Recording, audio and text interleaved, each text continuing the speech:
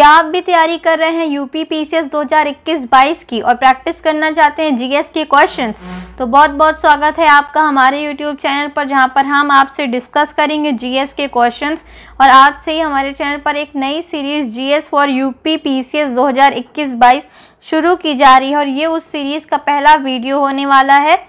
और चलिए वीडियो को शुरू करते हैं। उससे पहले अगर आप चैनल पर नए हैं तो चैनल को सब्सक्राइब कर दीजिएगा, बेल आइकन को प्रेस करके ऑल पे सेट कर दीजिएगा और वीडियो को लाइक, शेयर करना मत भूलिएगा। साथ ही साथ अगर आपको करंट अफेयर पढ़ना है तो हमारे चैनल पर रोज़ सुबह आठ बजे करंट अफेयर डिस्कस किया जाता है। तो आपको अगर जुड़ना है हमारे साथ तो इसी वीडियो के डिस्क्रिप्शन में हम करंट अफेयर प्लेलिस्ट का भी लिंक दे देंगे। आप जाकर ज़रूर से चेक कर लीजिएगा। तो चलिए वीडियो को शुरू करते हैं और देखते हैं पहले क्वेश्चन को। पहले क्वेश्चन है मैच द फॉलोइंग टाइप है। एक साइड आपको दिया गया है अभ्यारण के नाम, दूसरे साइड है राज। आपको मैच करना है कि कौन सा अभ्यारण किस राज्य में है।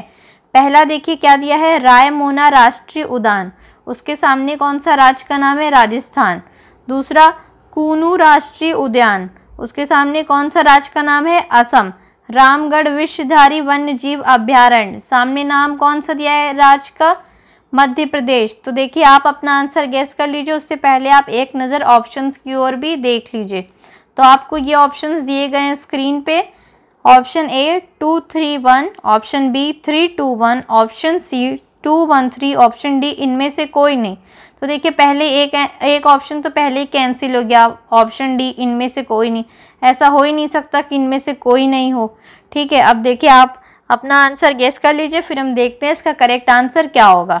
आई होप अब तक आपने अपना आंसर गेस कर लिया होगा तो इसका correct answer option A two three one two three one कैसे? देखिए, रायमोना राष्ट्रीय उद्यान, ये कहाँ का है? तो ये है असम का। कूनू राष्ट्रीय उद्यान, देखिए, कूनो राष्ट्रीय उद्यान, ये कहाँ का है?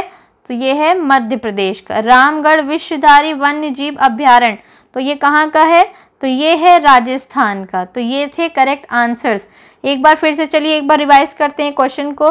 जब मैं आपके लिए क्वेश्चन दो बार पढ़ती हूँ ऑप्शंस दो बार पढ़ती हूँ तो आप भी मेरे साथ पढ़ा करिए। ऐसे क्या होगा कि चीज़ें आपके दिमाग में बैठती चलेगी और साथ ही साथ आपको लर्न होती जाएगी, जिससे आपको एग्ज़ाम में काफ़ी ज़्यादा यूज़फुल होगी वो चीज़ें, ठीक? देखिए, रायमोना राष्ट्रीय उद्यान कहाँ पर है? तो ये है असम में। कूनू राष्ट्रीय उद्यान कहाँ पे है? ये है मध्य प्रदेश में। रामगढ़ विश्वधारी वन्य जीव अभ्यारण्य। तो ये कहाँ पे है? ये है राजस्थान में स्थित है। चलिए आगे बढ़ते हैं, अगले क्वेश्चंस को देखते हैं। उससे पहले एक नोट दिया गया है उसको भी एक बार पढ़ लीजिए। रामगढ़ विश्वधारी वन्य जीव अभ्यारण्य। कहाँ पे है ये? अभी ऊपर हमने डिस्कस किया ना तो ये कहाँ पे ये है राजस्थान में। ठीक? और ये भारत का 52 रिज़र्व होगा। ठीक है? तो ये भारत का 52 टाइगर रिज़र्व होगा। कौन सा है? वो रामगढ़ विश्वधारी वन्यजीव अभ्यारण्य। और साथ ही साथ ये राजस्थान का चौथे नंबर का है, ठीक? अगर इंडिया की बात करी जाए तो रामगढ़ विश्वधारी वन्य जीव अभ्यारण्य 52 नंबर पे आता है। लेकिन अगर राजस्थान में बात की जाए तो ये चौथे नंबर पे आता है, ठीक? इसे याद कर लीजिएगा और आगे बढ़ते हैं, देखते हैं अगले क्वेश्चन को। तो देखिए क्वेश्चन नंबर टू कौन सा है? क्वेश्चन नंबर टू स्टेटमेंट वाले क्वेश्चन से एक बार पढ़ते हैं। उससे पहले सबसे ज़्यादा इंपॉर्टेंट चीज़ ये है, उसको आपको क्वेश्चंस को वन वर्ड बाय वर्ड पढ़ना है। कोई भी वर्ड स्किप मत करिएगा, मैं बार बार इसलिए कह रही हूँ क्योंकि ऐसे ही क्वेश्चंस गलत हो जाते हैं। जैसे यही क्वेश्चन देख लीजिए, ये पढ़िए, निम्न निम्न में से कौन सा कथन सही नहीं है? नहीं है पे ज़्यादा इम्फेसिस करिए, वो जानबूझ के आपसे ऐसे क्वेश्चन पूछते हैं ताकि आप नहीं है को स्किप कर दीजिए और क्वेश्चन आपको आता हुआ भी आप गलत कर देंगे। तो इसीलिए जो नहीं है, उसको जब आप क्वेश्चन पढ़ें, तभी उस पर एक सर्कल मार्क कर लिया करिए ताकि आपको याद रहे कि क्वेश्चन में पूछा गया कि स्टेटमेंट कौन सा सही नहीं है, ठीक? देखिए स्टेटमेंट क्या दिया गया है कि भारत की सबसे बड़ी आर्द्र भूमि पश्चिम बंगाल की सुंदरवन आर्द्र भूमि है। ये था स्टेटमेंट वन स्टेटमेंट टू क्या दिया गया है कि रेणुका आर्द्र भूमि हिमाचल प्रदेश में स्थित भारत की सबसे छोटी आर्द्र भूमि है। ठीक, देखती, देखिए ऑप्शन थ्री क्या दिया है? स्टेटमेंट थ्री सुंदरवन आर्द्र भूमि ट्वेंटी सिक्स आर्द्र भूमि है। ठीक, अब आपने स्टेटमेंट तीनों देख ली वीडियो को पॉज करके आप अपना आंसर गैस कर लीजिए। ठीक, फिर हम देखते हैं इसका करेक्ट आंसर क्या होगा। तो देखिए ऑप्शंस आपको दिए गए हैं स्क्रीन पे। ऑप्शन ए वन और टू ऑप्शन बी केवल थ्री ऑप्शन सी केवल टू ऑप्शन डी इनमें से कोई नहीं। तो देखिए ऑप्शन डी तो ऐसे ही कर दिया कि इनमें से कोई नहीं। ठीक? अब देखिए, तीन ऑप्शन है। इसका करेक्ट आंसर क्या है? ऑप्शन बी केवल थ्री इनमें से जो केवल थ्री ये जो है स्टेटमेंट थ्री ये वाला स्टेटमेंट सही नहीं है। ठीक? ये वाला स्टेटमेंट सही नहीं है। सही नहीं है क्यों? क्योंकि सुंदरवन आर्द्र भूमि वो ट्वेंटी सिक्स नंबर की नहीं है, वो ट्वेंटी सेवेंथ की है। ठीक, ट्वेंटी सेवेंथ नंबर की आर्द्र भूमि है। बाकी ऊपर के दोनों स्टेटमेंट आपके सही हैं, ठीक है? और ये वाला स्टेटमेंट जो था वो सही नहीं है, इसीलिए ये करेक्ट आंसर है। और उसके साथ साथ आप ये स्टेटमेंट याद रख लीजिएगा कि आर्द्र भूमि पश्चिम बंगाल की जो सुंदरबन आर्द्र भूमि है, भारत की सबसे बड़ी आर्द्र भूमि है और रेणुका आर्द्र भूमि हिमाचल प्रदेश में स्थित है। जो कि भारत की सबसे छोटी आर्द्र भूमि है, ठीक?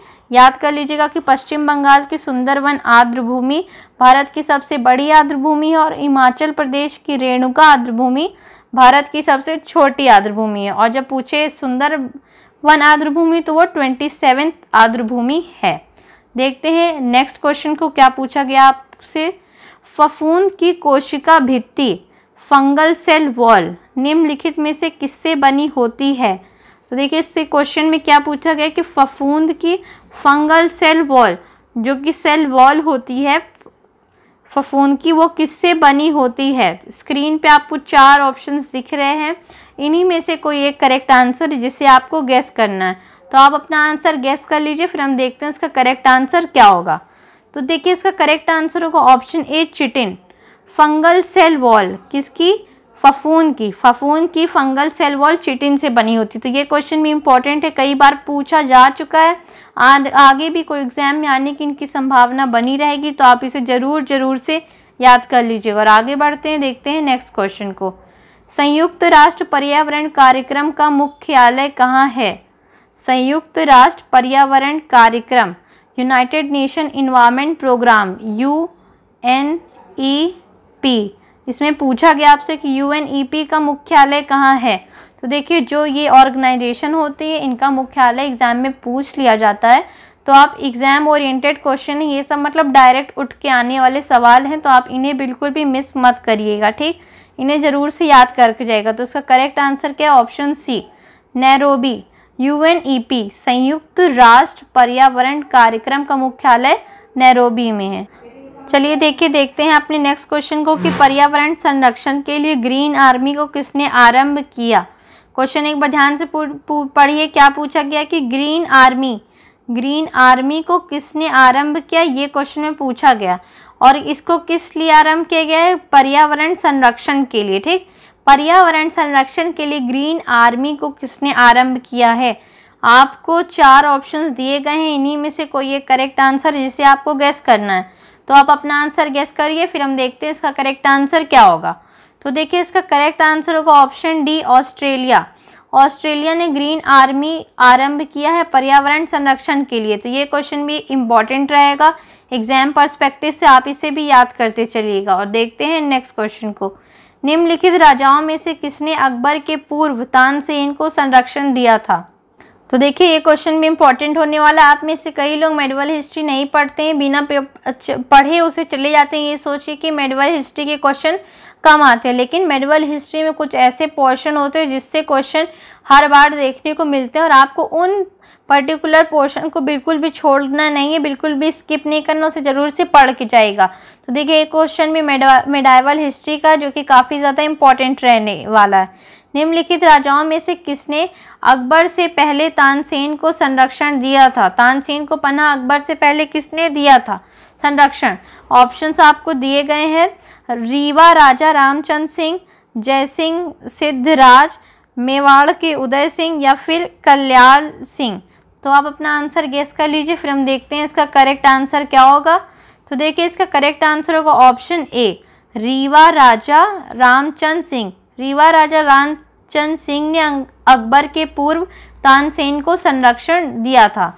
अगर आपको तानसेन का ओरिजिनल नाम पता होगा तो कमेंट सेक्शन में ज़रूर हमें कमेंट करके बताइएगा। हमें इंतज़ार रहेगा आपकी कमेंट का। तो चलिए देखिए, नेक्स्ट क्वेश्चन को देखते हैं। निम्नलिखित स्मारकों को कालानुक्रम से व्यवस्थित करें। अब देखिए, यहाँ पे आपको चार ऑप्शन दिए गए हैं, जिनमें चार स्मारतें दी गई है और आपसे पूछा गया कि आप इनको पीरियड वाइज इनके किस पीरियड में कौन सी बनी थी उस सीक्वेंस में व्यवस्थित करना है आपको। तो देखिए, ऑप्शंस देख लेते हैं। राबिया दौरानी का मकबरा, औरंगाबाद, महाराष्ट्र, ठीक? ऑप्शन टू कौन सा शेर शाह सूरी का मकबरा, सासाराम, बिहार। ऑप्शन थ्री, हुमायूं का मकबरा, नई दिल्ली। ऑप्शन फोर, अटला मस्जिद जौनपुर। तो देखिए, आपने चारों ऑप्शंस पढ़ लिए होंगे। अब अपना सीक्वेंस आप गैस कर लीजिए। फिर हम ऑप्शंस आपको दिखाते हैं और आप अपना आंसर गैस करिए। तो देखिए, ये रहे स्क्रीन पे आपके ऑप्शंस आप ऑप्शंस देख लीजिए, अपने आंसर गैस करिए। फिर हम देखते हैं इसका करेक्ट आंसर क्या होगा। तो देखिए, इसका करेक्ट आंसर होगा option A four two three one four two three one इसका करेक्ट आंसर होगा। कैसे? देखिए फोर टू थ्री वन मतलब क्या हुआ कि अटला मस्जिद अटला मस्जिद जौनपुर ये पहले बना था, ठीक? अटला मस्जिद जौनपुर ये पहले बना था, उसके बाद बना था शेर शाह सूरी का मकबरा, सासाराम बिहार का। उसके बाद बना था हुमायूं का मकबरा, नई दिल्ली।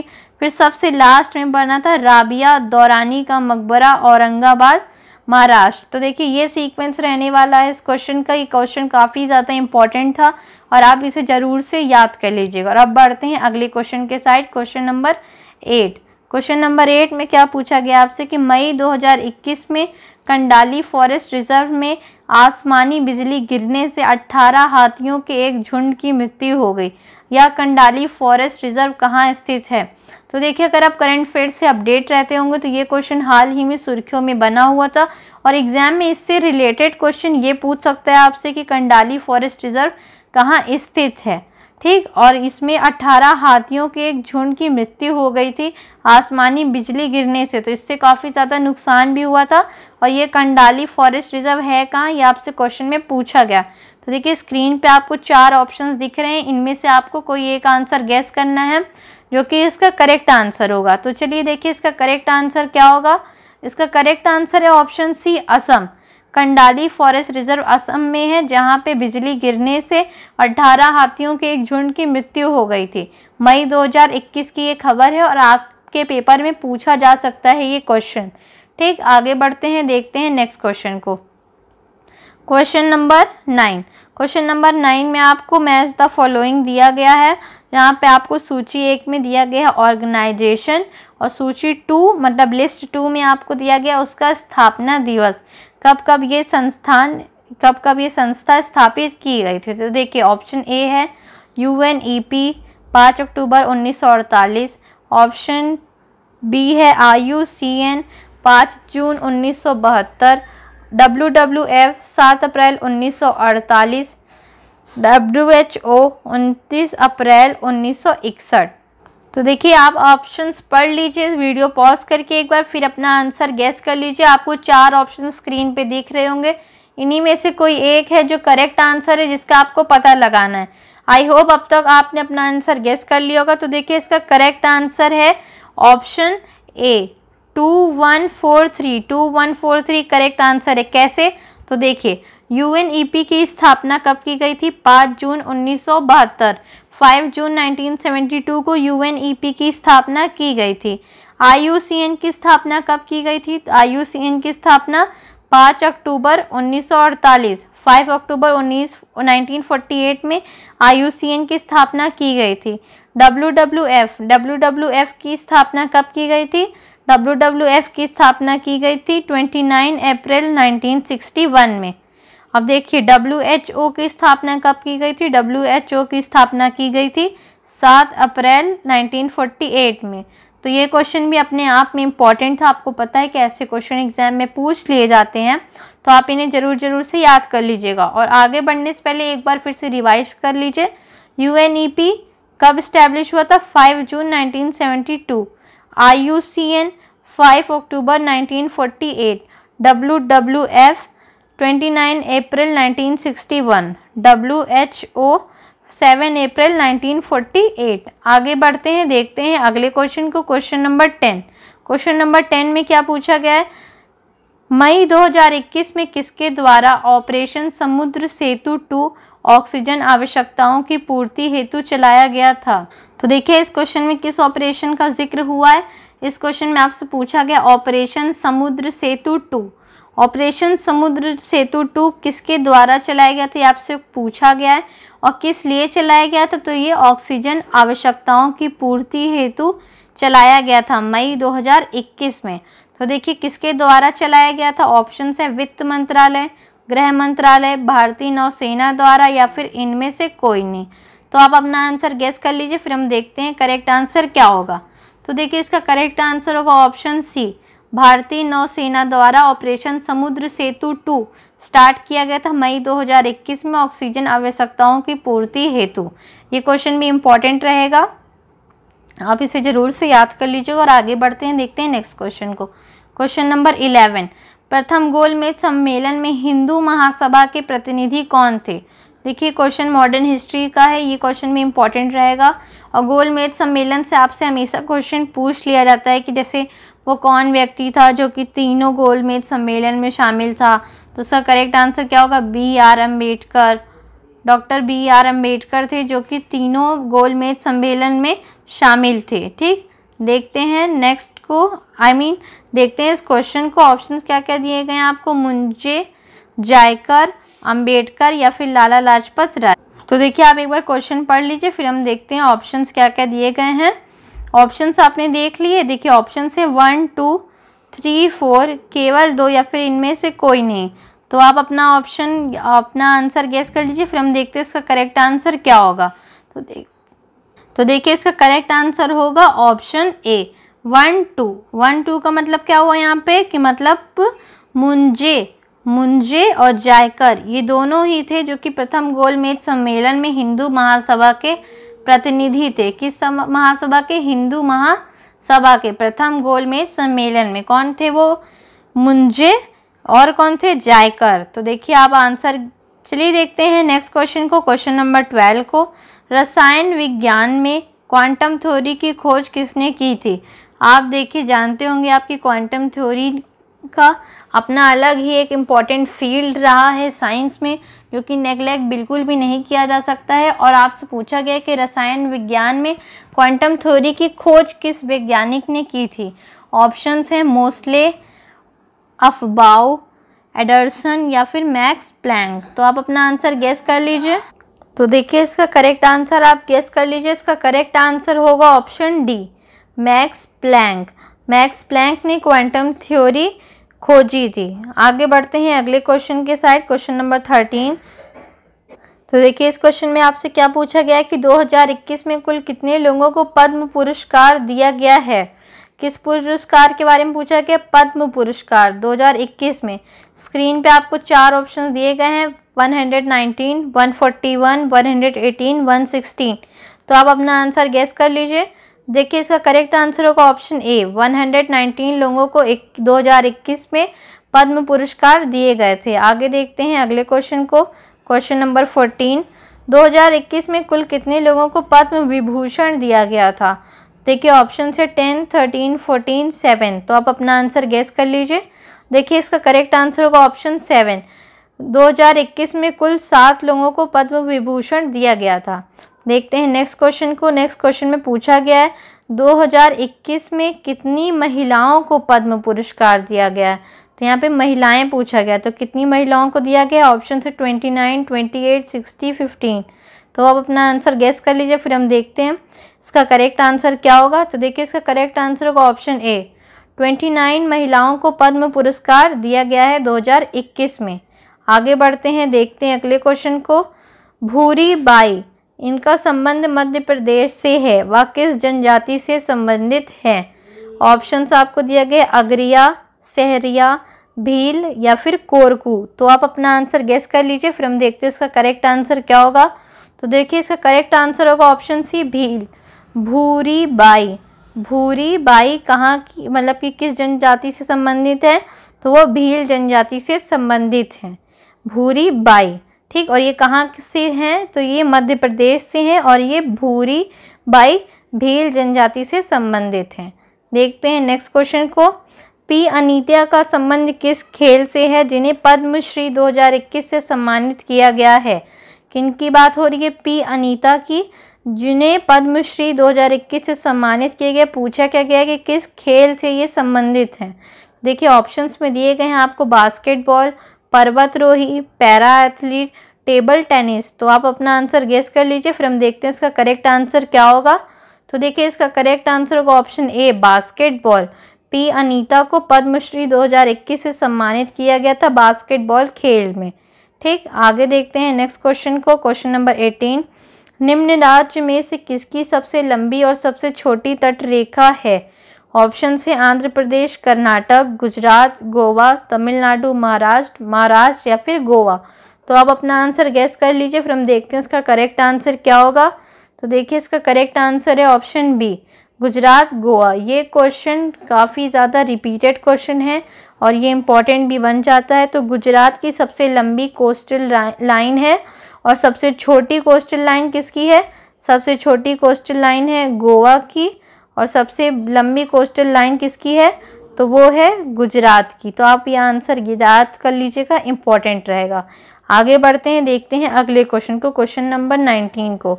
संविधान के किस अनुच्छेद में पर्यावरण का संरक्षण तथा संवर्धन उपबंध है? आपको पता है कि हाल ही में ऐसी कई पर्यावरण से समस्या आई हैं, जूझ रहे हैं हम लोग तो ये क्वेश्चन काफ़ी ज़्यादा इंपॉर्टेंट होने वाला है। और अब की बार के यूपीएससी के एग्ज़ाम में भी पर्यावरण से क्वेश्चन काफ़ी ज़्यादा पूछे गए हैं। अगर आपने एनालिसिस किया होगा क्वेश्चन पेपर का तो देखिए आर्टिकल दिए गए हैं आर्टिकल 48 आर्टिकल 48 ए आर्टिकल 47 या फिर आर्टिकल 47 ए तो आप अपना आंसर गेस कर लीजिए। देखिए इसका करेक्ट आंसर होगा ऑप्शन बी आर्टिकल 48 ए में पर्यावरण का संरक्षण तथा संवर्धन उपबंध है। देखते हैं इस वीडियो के लास्ट क्वेश्चन को क्वेश्चन नंबर ट्वेंटी को। भारतीय संविधान में सार्वजनिक वयस्क मताधिकार की व्यवस्था किस अनुच्छेद में उल्लेखित है? ऑप्शंस आपको दिए गए हैं आर्टिकल 325, आर्टिकल 327, आर्टिकल 324, आर्टिकल 326 तो आप अपना आंसर गैस कर लीजिए। देखिए, इसका करेक्ट आंसर होगा ऑप्शन डी आर्टिकल 326 में सार्वजनिक वयस्क मताधिकार की व्यवस्था का उल्लेख किया गया। तो आई होप आपको वीडियो पसंद आया होगा, ये जीएस के क्वेश्चंस पसंद आए होंगे। तो आप अब हमारी इस सीरीज़ को लाइक करिएगा और अपना सपोर्ट बनाए रखने के लिए, हमसे जुड़ने के लिए हमारे चैनल को सब्सक्राइब करना मत भूलिएगा। और बेल आइकन को प्रेस करके ऑल पे सेट कर दीजिए ताकि हम कोई भी वीडियो अपलोड करें तो सबसे पहले उसका नोटिफिकेशन आप तक पहुँच जाए। और वीडियो को लाइक शेयर करना मत भूलिएगा। उन सभी एस्पिरेंट से जो कि यूपी पी सी दो हज़ार इक्कीस बाईस को टारगेट कर रहे हैं और अपनी तैयारी करना चाह रहे हैं। तो ठीक है, मिलते हैं आपसे अगले वीडियो में इसी सीरीज़ के। तब तक के लिए अपना ख्याल रखें। Good bye